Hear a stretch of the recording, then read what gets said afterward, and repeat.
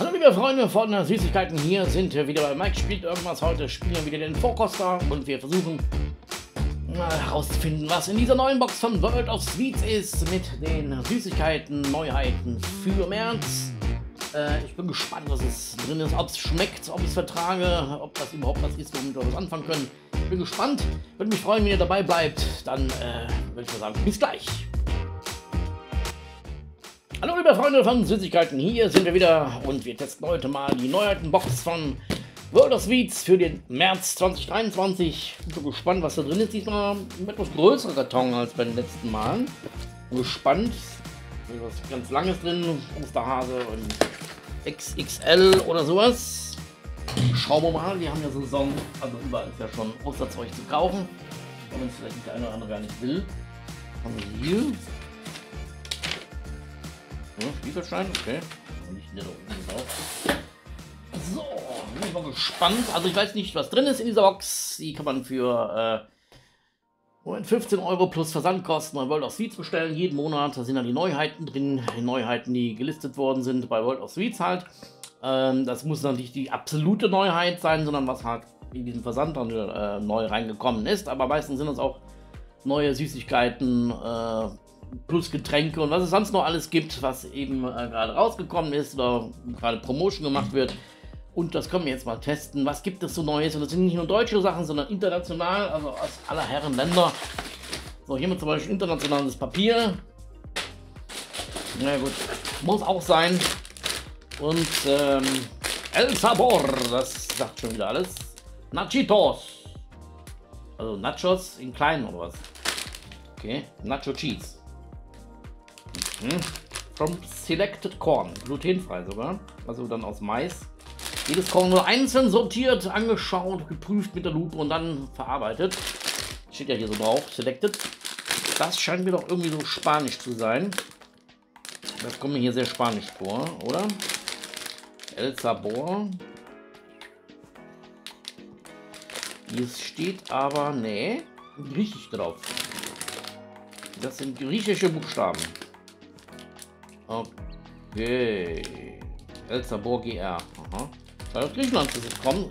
Hört sich eher spanisch, mexikanisch oder so ähnlich an, ist aber dann griechisch. Okay. Nacho Mini Chips irgendwie.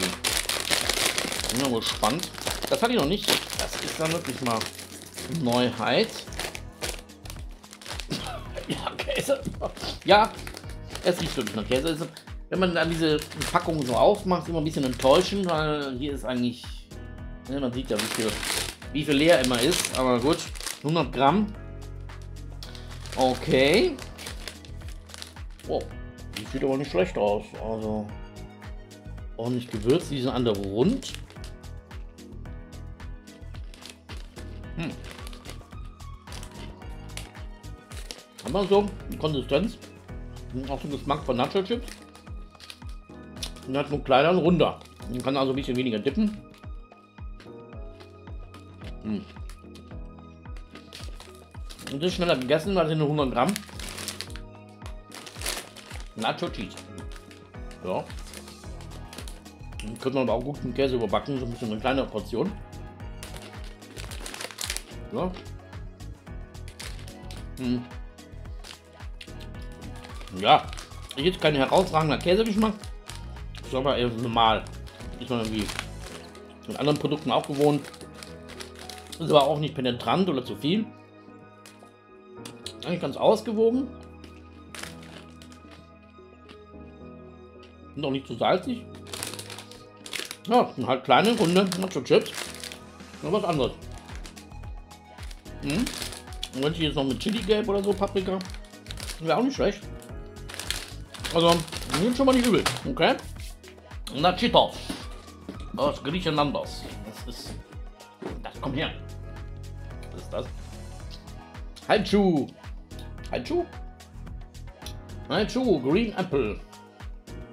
Immensely fruity, intensely chewy. Okay, was man sich da immer wieder verspricht. Haichu Green Apple Flavor. Kaubonbon mit Apfelgeschmack. Hier steht Deutsch drauf. Ich bin fasziniert, okay. Da ist sogar äh, Kürbissaft drin.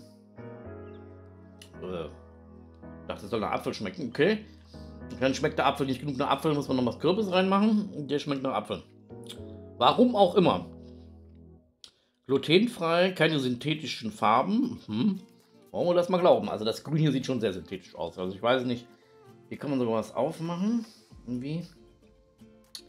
Äh, also theoretisch ist hier so ein Streifen. Den kriegt man allerdings nicht gepackt hier. Und also, okay, dann müssen wir zu rabiateren Methoden greifen. Dann alte Leute sowas aufkriegen. Also läuft das so. Oder großen sie jetzt nicht. Da hätte ich mir jetzt so was dickeres vorgestellt. aber okay. Wachspapier. Hm. Riecht aber so ein bisschen nach Apfel, muss man schon sagen.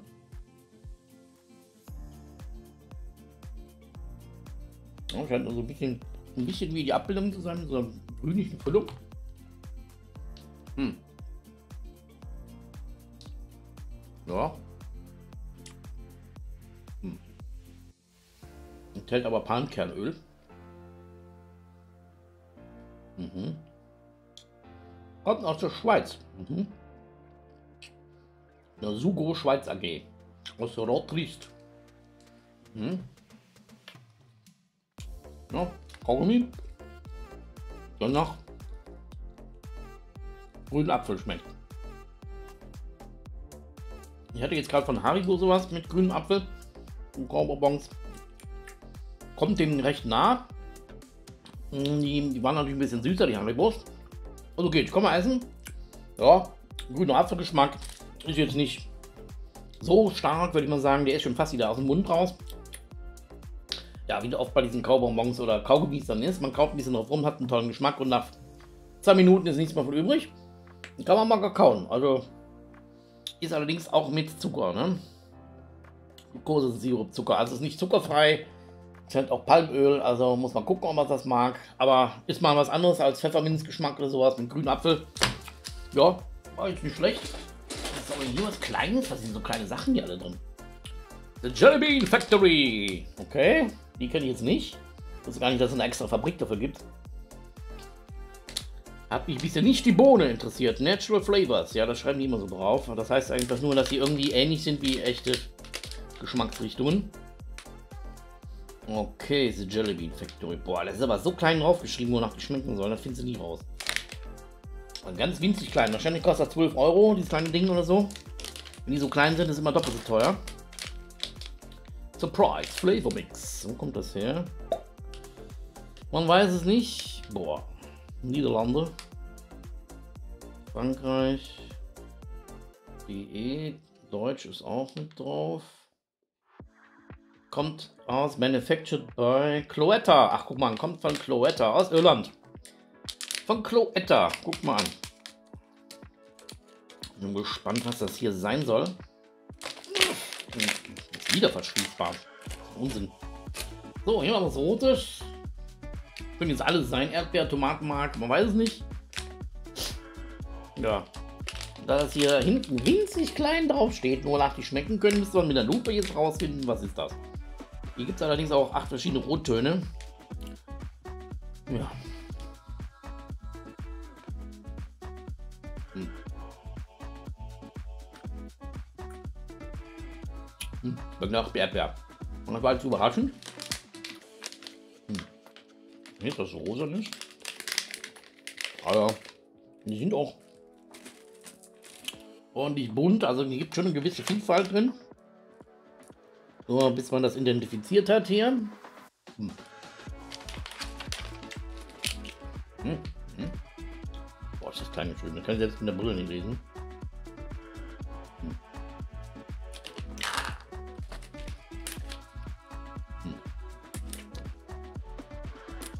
So ein bisschen nach so einem Blaubeermuffin irgendwie. Mhm. Und noch was Orangenes. Das können auch alles sein. Dann gibt es dann fünf verschiedene Orangetöne. Das ist immer gut, wenn die alle gleich aussehen. Hm. Das hat so was Grapefruit-artiges. Ja, Jelly Beans halt. Hm. Ist jetzt nicht so überraschend, wenn die noch exotische Geschmacksrichtungen drin hätten, okay. Könnt ihr aber hier nicht so drauf erkennen. einfach viel zu klein geschrieben. Auf dieser kleinen Packung Cola gibt es noch. Boah, ey. Was ist das? Melone. Hm, was soll das sein? Das ist so klein geschrieben. Die Entziffern. Boah, äh, Cherry. Ich also wahrscheinlich eigentlich so die üblichen Verdächtigen, die es da so gibt. Apfel, Blaubeer, hm. Cherry und Apple und Cranberry, okay. Aber nicht so mit Käsekuchen oder Maggi-Geschmack oder sowas, Teriyaki, Hühnchen, Popel, keine Ahnung. Also gut, interessant auf jeden Fall. Aber so ein kleines Päckchen, das wird wahrscheinlich nicht so wenig kosten. Wenn wir nochmal so. Aha. Haichu! Ja. Die möchte ich jetzt noch. Ist ja noch so ein Ding? Die haben uns alle. Okay, ich habe alle Geschmacksrichtungen, die es gibt von den Haichus. Dann gibt es noch Mango. Hier gibt es noch äh, Strawberry, wahrscheinlich sowas wie Erdbeeren. Und Wassermelone. Okay. Was, also Wassermelone hatte ich äh, genug jetzt in letzter Zeit. Das scheint auch so der Innengeschmack gewesen zu sein für alles Mögliche. Neben äh, Salted Caramel. Ich nehme mal Mango. Ein Kaugummi Mango-Geschmack kann ich mich jetzt noch nicht dran erinnern, dass ich das mal hatte. Das kriegt man genau so scheiße auf. Ah, diesmal hat es geklappt. Ha. Okay. Schauen wir mal, was wir hier so Wunderbares rausholen. Das riecht aber auch fruchtig. Das muss man schon sagen. Okay.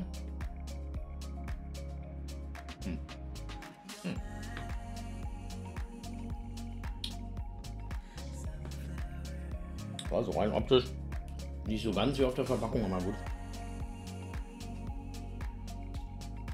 Mhm. Ja. Ja. Und schon noch Mango. Also eine echte Frucht schmeckt natürlich besser, aber kommt dem schon nah. Interessant. Also, wer gerne fruchtig kaut, hier Haichu. Haichu, Haichu. Alle zuschlagen. Aus der Schweiz. Ja. Also haben wir hier Apfel, Wassermelone, Mango und Erdbeermangobrot. Ja. Schmeckt der Mango gar nicht schlecht. Ist nur auch wieder schon fast hier weg der Geschmack. Also da müsste man den ganzen Mund voll ballern mit den Dingern, damit man so richtig schön intensiven Geschmack hat. Aber ist nicht schlecht. Kann man mal, kann man mal probieren. Mal sagen. So, hier versteckt? Was ist das? Red Band. Fruit and Berries. Real Fruit Candy. 50% Frucht. 100% Snap. Ja, was immer Snap ist, ich habe keine Ahnung. Das ist so leicht holländisch. Okay. Oh, ein frisse en natuurlijke Fruitesmaak. Ja. Okay. Also Bescheid. 190 Gramm, also ziemlich schwer. Aus echten Früchten. Mhm. Allerdings nur zu 50 Prozent. Das geht mir auch wieder super auf. Okay, so Red Band kennt man ja so ein bisschen, ne? Liegen ja auch oft in der Kasse, diese großen Packungen. Ich bin da nicht so ganz der Fan, weil die sind immer so ein bisschen fest und zäh, diese Dinge. Hm. Die sind allerdings was weicher. Mhm. Und hier Senf. Blaubeere. Mhm.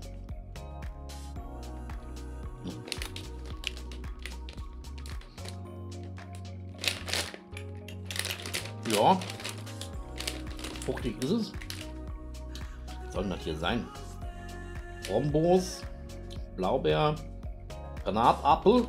Dann gibt es Peer, immer das ist noch ein Apfel und Erdbeer. Kann ich jetzt nicht, also wer Niederländisch kann, kann mir das gerne in Kommentare schreiben, was das heißen soll. Aber Tense Fruchtsmack ist auch wurscht letztendlich. Das ist hier wahrscheinlich dann Blaubeer, vermute ich mal das dunkelste.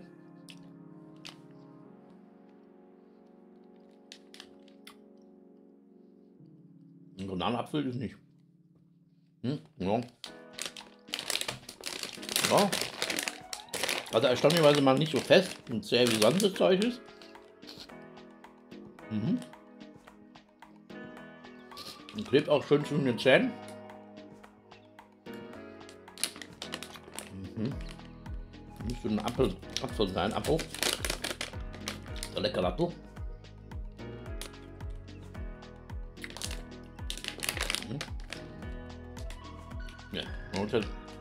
Hat eher für sich. Ja. Und man hat den Mund ganz schön voll. Und klebrig, aber nicht so hart. Gute Berries. Mhm. Ja. Fruchtig ist es. Also das muss man den schon, schon lassen, die Dingern. Mal hier mh, hm, diese andere Sorte. Dann hatte ich die eben schon. Das ist dann wahrscheinlich Erdbeer vermutlich.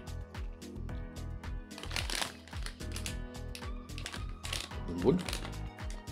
Hält sich nur bis 24. Hm. Wahrscheinlich nicht. Ja.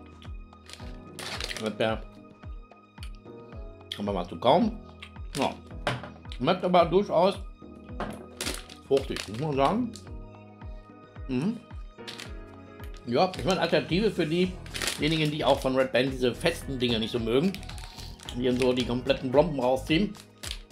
Also, ja, fruchtig, weich. Mhm, man kann sogar versuchen, den Fruchtgeschmack mal rauszuschmecken, wenn man hinten lesen kann, was es ist. Schmeckt auch nicht immer nach dem, was da drauf steht. Ist ja hier auch so. Aber nicht schlecht. Mal eine Alternative von Red Band. Und ich drauf einmal die Kosten. Wenn da jetzt sehr viel Fruchtsaft drin ist, was ist denn das hier? Hm. Was zu trinken? So internationales Packpapier. Ups, nee, Soda. Was ist das? Nee, so rum. Soda, hier wir einfach Soda. Soda einfach im, hat Soda im, im, in der Packung gelegen. Soll das jetzt sein hier? Low Sugar Drink. Soda. Äh, achso. Paido Maracuja.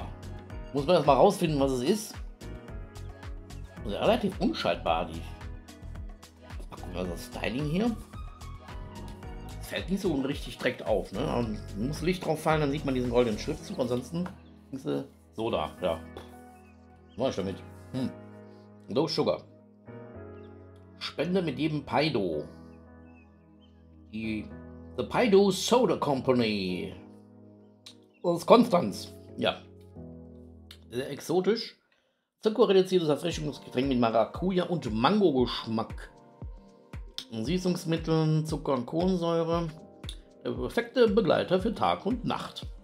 Äh, ja, nachts trinke ich immer sehr viel, klar. Am besten eiskalt genießen. Okay. Hm.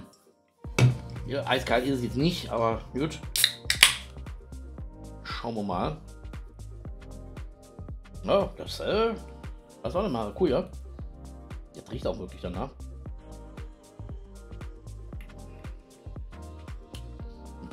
Kohlensäure, ja.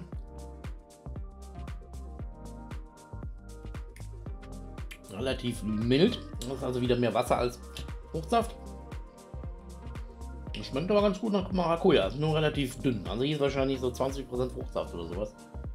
Das ist nicht wirklich viel. Hat aber auch nur 5 Gramm Zucker. Die 100 Milliliter. Das ist nicht so viel. Das ist schon gar nicht mal so schlecht.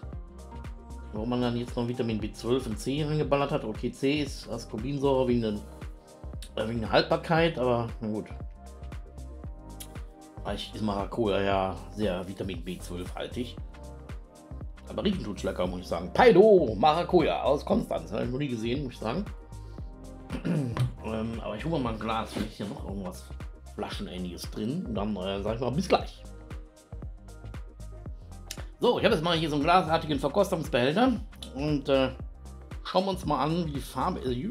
Also, das sieht schon sehr intensiv aus. Es riecht auch, äh, es riecht schon lecker, muss man sagen. Also da möchte man am liebsten direkt äh, alles auf einen Schluck wegmachen. Nur auf der Zunge ist es dann relativ mild. So wie ein bisschen intensiver jetzt als Wasser mit Geschmack, aber kommt in die Richtung. Ja, Stimme eiskalt ist schon was besser. Und nicht schlecht. Da es auch nicht so viel Zucker drin hat, kann man, würde ich mal sagen, sich durchaus das mal gönnen hier. Vor allem, wenn man so diese Mango-Maracuja-Geschmack mag. Kommt natürlich auch wieder im Preis an. Wenn die jetzt so bei 2 Euro liegt, würde ich auch sagen, da kann man sich vielleicht mal gönnen, aber nicht auf Dauer. Wenn es jetzt eher so Richtung 1 Euro gehen würde, würde ich mal sagen, okay, ja, warum nicht? Schmeckt jedenfalls nicht schlecht. So, jetzt ist hier irgendwas Langes drin. Was ist das?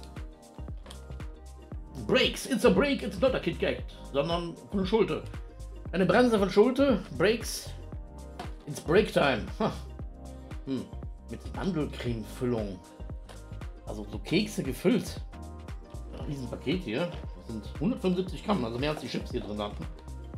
Hm, Schulte aus Riedburg. Okay, auch Deutschland. 20% Mandelcreme-Füllung. Jo, 100 Gramm. Haben 535 Kilokalorien. Noch nicht schlecht. Ja gut, was erwartet man da auch? So, dann gucken wir mal. Hier ist so eine Aufreißlasche, die funktionieren ja meistens nicht. Ja. Jetzt ist wieder... Äh, wenn sich diese Verpackung wieder ausdenkt. So, okay, da sind dann sechs Stück großzügig verpackt. Ja, so eine große Verpackung fällt natürlich auf im Laden, aber ich denke mal, hier hätte man auch ein bisschen sparen können, aber man wollte es wahrscheinlich so aussehen lassen. Ist ein bisschen viel Plastik, ne? Aber gut. Äh, dafür sind auch sehr dicke Kekse. Also da kannst du nicht die ganze Packung, Packung mal schnell weg. Ähm, Allein schon wegen der Kalorien hast du eine komplette Pizza im Schuss. So, schauen wir mal. Will ich nochmal. Und ist lecker. Also das ist ein riesen Oschi hier. Sieht nur ganz gut aus, so optisch. Hm. Hm.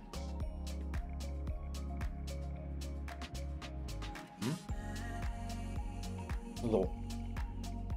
So eine etwas sandig cremige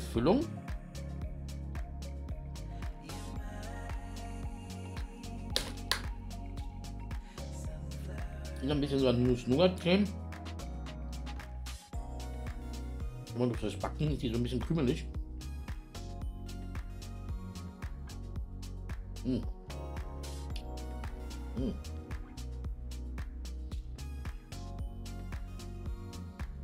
Schmeckt aber nicht schlecht. Mmh. Ja. So, so ein Mandelmus ein bisschen. Schokolade auch. Und ganz schön mächtig. Also, ja, noch so zwei Dinge, dann ist man satt. Ja. Das man nicht so gut tunken. Die krümmeln dann ziemlich. Und ja, Zucker und Fett. Aber ist lecker. So als Teegebäck. Also ne, pro Person ein Keks, dann sind die alle satt. Hm. Ja, also, interessant und hübsch aus. Breaks. hm, boah. Du hast aber was Intus. Hm. Yummy, yummy. Aber lecker. Muss man schon sagen. Und darf man noch nicht dauern essen. Jetzt muss man wieder Workout machen, so 5 Minuten Training. Und müssen wir unseren kleinen Saugi mal ein bisschen in Einsatz bringen hier. Wird doch wieder einer rumgesch rumgekrümelt hier, rumgestaubt.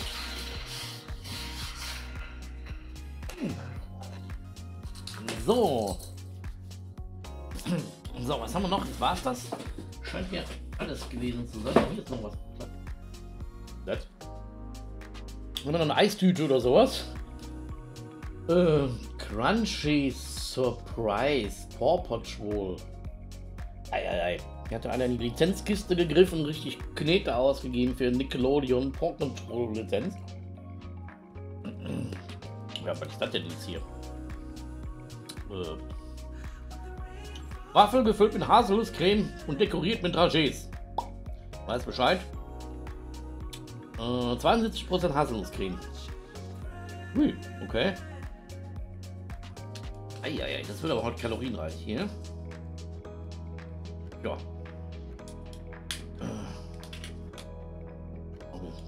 knuffig, ja. Da haben wir dann noch so einen, einen Hund hier drin abgebildet, warum auch immer. Hä? Wie funktioniert das hier? Hä? Äh.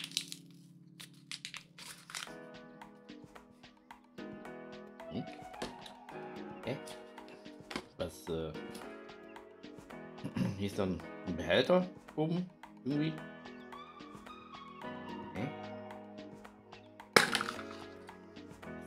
Okay. So eine Art, äh, Ü-Ei-Becher. Okay. Dann hat man hier irgendwelches Gedöns drin von Paw Patrol. Äh, Figürchen oder so. Sechs Figürchen oder 20 so 3D-Wackelbilder oder was das hier ist. Cool. Wir lange Spaß mit. Ja gut, aber wer es sammelt und in dem Alter ist so, sich in 36. Ja. okay. Ich dachte, was ist das denn jetzt hier? Okay. So eine Art Ü-Ei-Waffel. So, das eigentliche ist das kleine Ding hier. Ähm, gut, das, ja, das ist nicht so eine Riesenausbeute, die man dann hat. Hier sind ganz viele ähm, Dragés oben drauf. Unglaublich viel. Gucken. Hm. Okay. Und so eine kleine Eiswaffe, die man dann so Haselnusscreme gepumpt hat. Damit die lieben Kleinen auch ordentlich Zucker haben. Man will durchs Haus rennen können. Sehr schön. Mhm.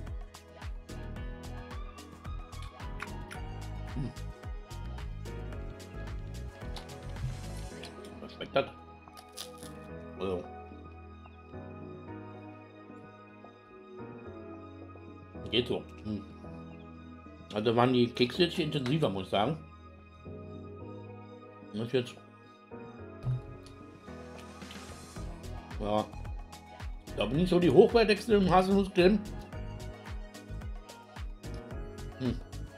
Richtig zähes Zeug. Hm. Kann ich nicht lesen.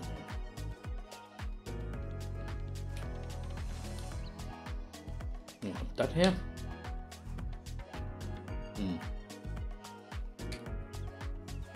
Produkt aus Elkon Hellas. Oh, das kommt auch aus Griechenland. Ja, der mag man anscheinend Paw Patrol, keine Ahnung. Ja. Für die Hundeliebhaber. Wow. Die kleine Ding da. Okay. Ach, hier noch was. Okay. Gut, das war's dann. Das Ding ist leer. Hm. Und dann haben wir noch was von Vitalis hier drin. Knuspermüsli des Jahres. Gut, ich weiß nicht von welchem Jahr. Weil 23 ist noch nicht so lang. Da kann natürlich jeder sagen, das ist das Müsli des Jahres. Die anderen Monate kommen ja noch. Ähm, na gut, man dieses übliche Salted-Karamell. Wahrscheinlich schmeckt es überhaupt nicht danach. Interessant. Mm, Also Müsli, die ist nicht erwartet. 11 Portionen pro Packung. Ja. Ich weiß nicht, wer das immer hier abmisst. Das sind dann Portionen, sind immer so winzig klein. Da wird kein Mensch satt von. 40 Gramm Müsli. Also ess doch mal 40 Gramm Müsli. Das ist doch gar nichts. Das ist total Schwachsinn, was hier jemand draufschreiben. Nur um sagen zu können, hier ist ja so viel drin, 11 Portionen. In Wirklichkeit hast du vielleicht 6. Und du musst alle drei Tage den Scheiß neu kaufen. Wahrscheinlich bei 3, 4 Euro liegt. Und ähm, im Monat hast du ja noch riesen viel Geld aus dem Fenster geschmissen. Davon abgesehen hast du hier auch ordentlich Zucker drin. Wie Gramm sind das? 450. Also hier sind schon bei 100 Gramm bist du bei 69 Gramm Kohlenhydrate, davon sind 22 Zucker. Also 22 mal 4, da hast du schon eine ganz ordentliche Portion. Ja. Hungrig aufs Leben. Ja, wer will auch hungrig auf vitales Knuspermüsli? Äh, das mache ich jetzt aber nicht auf. Weil das esse ich nicht essen, dann liegt dann nur rum und dann kann ich es wegschmeißen. Also das ist nichts für mich, muss ich sagen. Und vor allem dann alles, was hier so meistens mit Salted Karamellgeschmack oder Erdnussbutter von deutschen Herstellern ist, das schmeckt meistens überhaupt nicht danach. Da fehlt meistens das Salz Oder schmeckt nicht richtig nach Karamell oder nach Erdnuss. Ja, aber sowas gibt es halt auch von Vitalis. Hungrig aufs Leben. Ich würde mal sagen, danach hungrig aufs richtige Frühstück. Ja. Mit 5,5% salziges Karamell. Das ist auch richtig viel. Naja. Lecker mit Milch oder pflanzlichen Alternativen. Gut, so gibt es also auch von Dr. Oetker mit ähm, ordentlich Zucker drin. Immerhin ist auch Ballaststoff, ist ja auch nicht schlecht. 7,2 Gramm pro 100, könnte was mehr sein. Ähm, Vollkorn-Haferflocke man zumindest genommen. Ansonsten ist hier nichts an Vollkorn noch irgendwo drin. Naja, gut. Okay, ja, Vitalis. Sehr interessante Mischung hier wieder mal.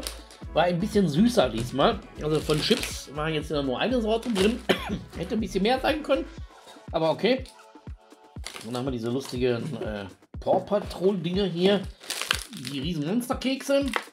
Boah, da haben wir allein schon ne, in dem zusammen hier, dann bist du den ganzen Tag verseucht.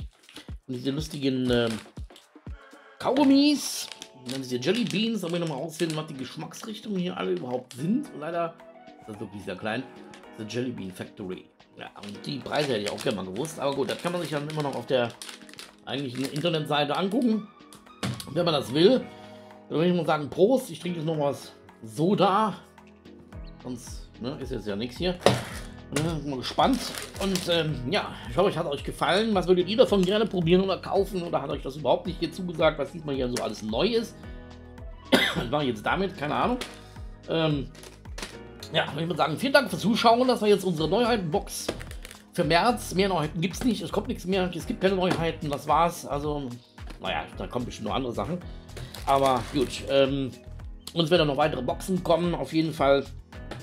Die äh, die Weltboxen werden wahrscheinlich auch noch unterwegs sein. Von denen habe ich noch nichts gehört, muss ich sagen. Die sind ja umgezogen auf ein neues Lager, die Firma. Und äh, letzten Monat kam keine Box. Bisher habe ich von der jetzigen Märzbox auch noch nichts gehört. Die Februarbox fehlt ja eigentlich auch noch. Also müssten diesen Monat eigentlich zwei Boxen von äh, Vernasche die Welt kommen. Keine Ahnung, ob das funktioniert. Angeblich sollen welche unterwegs sein. Ich habe noch keine Versandbenachrichtigung. Mal schauen, ob da noch was kommt. Dann wird es ja noch die Degusta-Box geben diesen Monat. Und dann habe ich noch eine, ähm, ja, noch eine Länderbox von einem anderen ähm, Hersteller mir besorgt. Und dann bin ich auch mal gespannt, was da so drin ist. Das ist dann nur aus einem einzigen Land. Und ähm, falls das mit Verlaschen die Welt nicht klappt, habe ich das noch als Alternative. Also das erwartet euch noch diesen Monat. Ja, und da bin ich mal gespannt, ähm, was da so alles drin sind, ob das schmeckt und was ich mit dem Kram hier mache.